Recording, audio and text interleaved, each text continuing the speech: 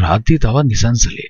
ඇසෙන්නේ කඳුකර සුළඟ උස පයිනස් ගස් අතරින් රිංගා යන සිරිසිරිය පමණි. සීතල සිමෙන්ති පඩි පෙළේ බඳට බර වුන් යුවතියගේ දෑත් ඔහු වෙළඳ ගන්නට ආශාවෙන් උන්නේ. ලංව තව ලංව තව තවත් ලංව හදවත් දෙකක ගිනියන් වූ ශාන්ත වූ අනුරාගය සැලමින් තිබුණි. ඊටම රහසිගත ලෙස පිබිදුණු ඉඳුරන් ඔවුන්ගේ පවිත්‍ර වූ පහස සොයමින් ඇවිල්ලනට විය. දෛවය ඔවුන්ට මතක නැත. ඉරණම ඔවුන්ට මතක නැත. මේ යෞවනයයි. මල් මල් දහස් එක රැයක දෙනිත් හැර සිඟිති දත්වලින් සිනාසින වසන්තයයි. මල් මකරන්දය තැවරී තිබුණේ කෙල්ලගේ රත් වූ තෙත් වූ දෙතොල් මතේ. ඒවා තිබුණේ අනුරාගින් වෙවුලමනි. ඔහුගේ ඇඟිලි තුඩු ඇගේ කුඩා කන්පිටි අතර අරුංගල් වල පබළු සොයන්නට මෙන් දගලන්නට විය. සෙමින් සෙමින් ඒ දෑත් ඔහුගේ බඳ වටා කවාකාරව යැවින. විමුක්තින්නේ පහළ පඩියේ, ඇහැවුන්නේ ඊට ඉහළ පඩියේ.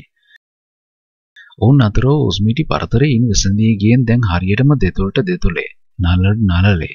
මල් සරාට දුන් යවන්නටත් දැන් ඉඩක් නැත. ඇගේ පියවරු එසවේ ඒවා ඔහුගේ ළමදේ පාස්වාගෙන මෙන් ඒටම තද වී තිබුණි. විමුතියේ දෙතොල් වලට පාත්තුවේ දෑස් අරගෙන මේ. කෙල්ලගේ මුවේ තුනී සිනහවකි. ජීවිතයේ ප්‍රථම වරට කුමාරයෙකුගේ දෙතොල් දෙතොලට වඩිද්දී හසරලා පැන නොනගින්නේ කවරනා යුවතියකද? සාලී කුමාරයාගේ දෙතොල් අශෝක මාලාගේ දෙතොල අතරට එද්දී ඇය අශෝක මලක් මෙන් සිනාසෙන්නට ඇත.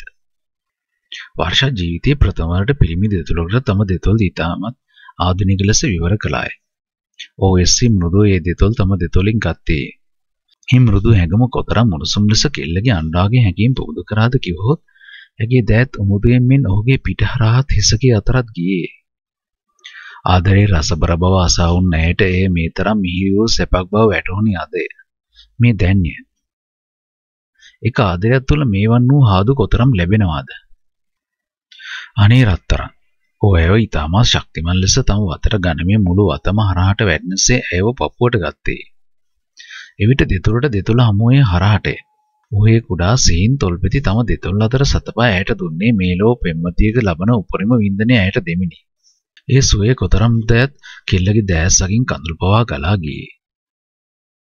කාලාන්තරයක් සිරකතව නිදංගතව තිබූ අනුරාගයක් එකවර මේ වන් සීතල රැයක පිබිදෙද්දි සීමාමායෙන් වැටකොට තහන්ති දැමිය හැකිද? නැත. ඕ කොතරම් යොසවද කියා ඇය දනි. මේ හදෝ දෙන්නට ඔහු තමාට මේ ටික කියනතුරු උන්නේ. ඒ ටික කියා ඔහු යාදෝ දෙනතුරු ඇය බලා උන්නාය. අද මේ විදින්නේ වීරු ඉවසීමේ සුමිහිරු උණුහුමය. ඇයගේ රැහැදුමේ කොටසක් ඒ උරස් වලින් ගිලී ගියේ ඔහුගේ දංකාර ඇඟිලි වලට බියෙන් මෙනි. ඒ අන්ධකාර කඳුකර වේනේදී යුවතියගේ ළමද ඔහුගේ උණුසුම් පපුවට ඍජුවම යුරුයේ. පියවරෝ දෙදෙනා රහසින් එකිනෙකට පරමින් මෙන් ඔහුගේ ළමද තලාවට පැන්නේ. මේ සතුට හැමදාම මට දෙන්නේයි කියන්නක් මෙන් නැගේ කුඩා ඇඟිලි තුඩ ඔහුගේ උරේ සැටින් පැමිණ පිට දැඩිව යල්ලා ගත්තේ. ඇගේ මුවින් නැගේ සීන් කෙඳිරිලකට සමාන වේදනාබර මිමුණුයි. ඔහු දිගහදුවකට පසු ඇගේ කුඩා දෙතොලින් සෙමින් සෙමින් දෙතොල්ගෙන ඒ මුහුණ දෙසම බලාගෙන උන්නේ.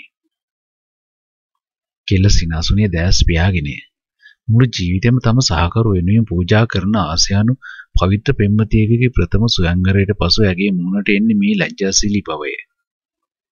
ඇස් අරින්න මැනික. ඔහු ඇයගේ මුහුණ මුහුණ ළඟටම කරගෙන කීවේ. ඒ අතර වාරයේද ඔහු දෙතුන් වරක් ඒ සුදු කම්මල් සිපගත්තේ. ආශාව නිමක් නැත. මේ සුදු කම්මල් දෙස බලාගෙන කී දවසක් නම් හීල්ලුවද. ඇය දැසරියේ නැත. ඒ තිතාමත් පියකරු සිනාගේ මොහ සරසාගෙන උන්නාය. ජීවිතේ ප්‍රථම චුම්බණයෙන් ඕනටත් වඩා තෘප්තිමත් වූ බවක් ඒ මුහුණින් දිස්සියේ. මං ඔබව මෙහෙමින් ඉන්න කොච්චර කල් ඉඳලා බලන් උන්නද? ඕ කිව්වේ හැමෝල ගෙල්ටත් නිකටත් අතර ගසාගෙන. එවිට ඇගේ දෙතුන නතරුවේ ඕගේ රැවුල් කොට ඇන්න ගෙලේ. කෙල්ලට කිතියේ. ඉතින් මං එපා කියලා තියනවද රත්තරන්? ඇයි කිව්වේ කෙඳිරලි හඬකිනි. මං ඉම්මොත් ඉමින්නේ මගේ ගෑණිගේ ලිප්ස් විතරයි. ඔහුගේ පිළිතුරු පුදුමාකාරයි. ඔහු කියන්නේ දැන් තමා ඔහුගේ සදාකාලික ජීවන සහකාරී වූ බවද? ඇස් අරින්න මැනික. ඔහු යලිත් වතාවක් කිව්වේ. ඇයි අන්තිමට දිනෙත් ඇරියාය. කෙල්ලගේ බබු හොස්ක ඇවිලුනේ ලා සඳරසින් තෙත්තු ඔහුගේ පින්බර මුහුණ දකිද්දී. අනේ රත්තරන් දැන් ඔයා මට නැතුව ගියොත් ඒ දුක හුලාගනු කෙසේද? මං නැති වෙයි කියලා බබා හිතනවද? ඇගේ දැස් කඳුලින්ම පිරී ගියේ. ජීවිතේ රසබරම් මොහොතේ ඒ ගින්දර පපුවට ගන්නට කෙල්ලට දුක සිතුනි. මට නේද ආදරේ. ඇහැසුවේ කාට හිමිවද ආදරේ මට නේද කියයි. ඔහු දැන් කෙනෙකුට හිමි වී ඇති බව ඈම දන්නේ. ඒ විනාශයේද නොවේද? ඒ දන්නේ දෙවියන්ම පමණි. මම ආදරේ කියලා කියන්නම ඕනද? මන් දන්නවා දෙයිනි. ඒත් මන් දුප්පත් කෙල්ලෙක් මොනාත් නැති. ඔයාට තියෙනව වෙන කිසිම ගෑණියෙක්ට නෑ බබා. ඔහු කිව්වේ හදවතින්මය. ඒ බව විමුක්ති හොඳින් අවබෝධ කරගෙන උන්නේ. ගැහණියක් වන්නේ ගැහණු අයව වලින් නොවේ ආත්මේනි. පිරිමියෙකුගේ සකල විද సంతානයේ වෙවුලවා අත්හැරීමේ අපරිමිත ගැහණුකම ඇය තුල වෙනි. විමුක්ති මුරගඩනම් තරුණයා හෙල්ලීගේ ඒ ගැහණු ආත්මයට. ඌට ඒව අතහැර යා නොහැකිවේ ඒ නිසායි. අයියේ මන් තව එකක් දෙන්නද? ඇය ලදරේක මෙන්න ඒ හදුව ඔහුට දෙන්නට සිතා උන්නයි. ඔහු සිනාසුනි ආශාවනි. දෙනකල් බලන් ඉන්නේ. ඌ පැවේ දෙතොලේ. හ්ම් මන් දන්නේ ඇයි කවුරුවන්නෝ ආදු ඇසම දුන්නයි. ඊටම අමාරුවෙන් කුඩා පපුවක සංගවාගෙන වුණ ආත්මීය අනුරාගයක් ඇය බියක් සැක නොමැති ඔහුගේ මුහුණ පුරා අතුරුවා දැම්මයි. මේ මගේ ඇයි දැඩි හැඟීමක් යුවතියට දැන්නේ. ඇත්තටම ඔහු ඇගේ විය. ආදරයට සදාචාරයක් අවශ්‍ය නැත. සිනියාසට වෙනම සදාචාරයක් ඇත. යුවතියක් හැසිරෙන්නේ මේ සදාචාරය තුලේ.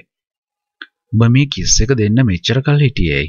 ඔහු ඇසියාගේ සීන් කන්පෙති අතර තෙත්තු තෙතොල් සිර කරගෙන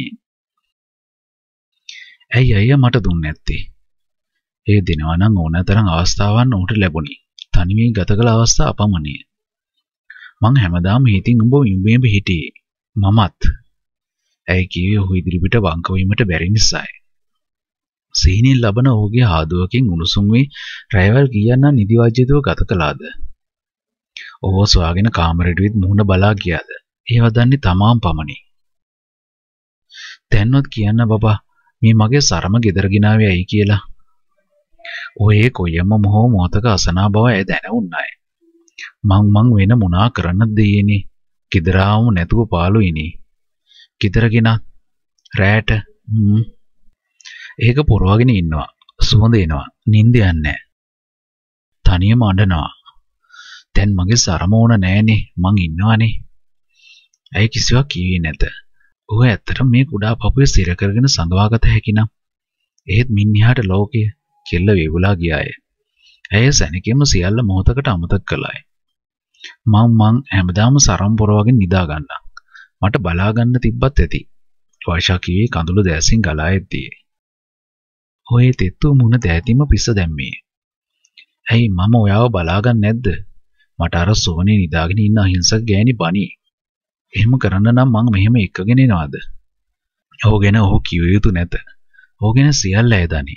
ඇයට බය ඊට එහා ලෝකය ගැන. හිට කොළඹ යනකල් මං ඕවා ගැන නොහිතා ඉන්නම්. ඇයි කිව්වේ හුල්ලමනි.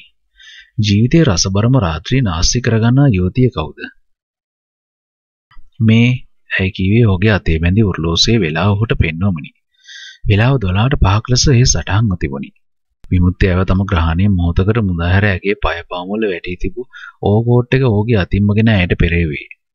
වර්ෂාගේ ලය තුල අපරිමිත ආදරයක් ඔහු කෙරෙහි ඇති විය. ඒ අන්ධකාරයේ මල් හොයන මැදින් විමුක්තිය ඇවත් උරුළු කරගෙන ආවේ මගදිකට කෙල්ලෝ සිප ගනිමිනි. ඔහු අමුතුම වෙනස් මිනිහෙක් වී උන්නේ. අලුත්ම මනමාලයෙක් වී උන්නේ. ඔහු දෙන ආදුවෙන් ආදුවට ඇය ගැන්නාය. ඒ තරම්ම ආදු ගන්නක් කොට දෙන්නට ඇය සිතාගත්තයි. මෙවැනි තවත් එක් රාත්‍රියක්වත් ජීවිතේට ලැබෙනවා නම් ඇයි මැනික හූල්ලන්නේ නෑ හූල්ලන්නේ මේ රැයට හදවතේ ජනිත වූ තෘෂ්ණාවටයි ඔහුට කියන්නේ කෙසේද